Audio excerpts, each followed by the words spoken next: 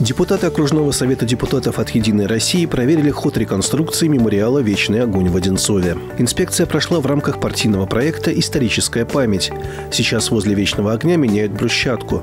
Работы ведут по графику. Обновление памятника завершат к 9 мая. В преддверии Дня Победы одинцовские партийцы проводят мониторинг всех воинских мемориалов в округе.